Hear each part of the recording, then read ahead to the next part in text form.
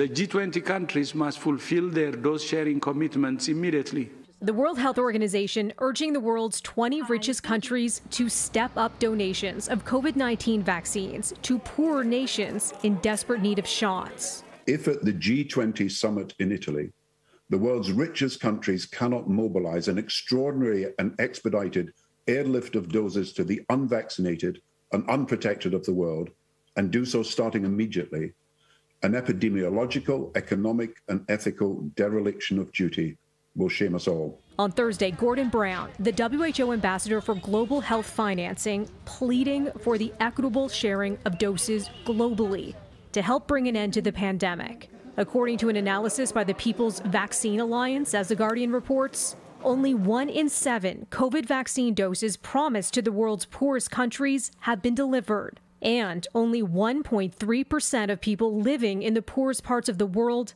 are fully vaccinated.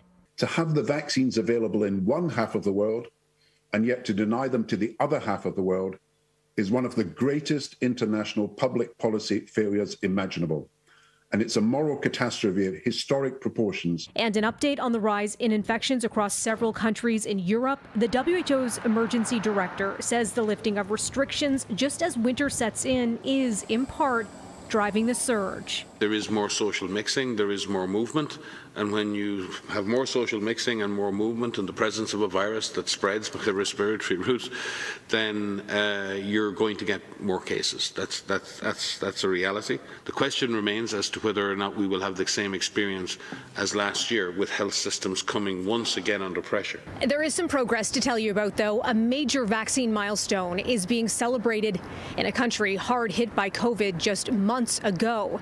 India now says it's administered a billion doses. The country marking its billionth COVID 19 vaccine shot Thursday. India is a major producer of vaccines, which helps. Now the focus is getting people fully immunized. Only about 30% of the eligible population has received two doses. Melissa Duggan, City News.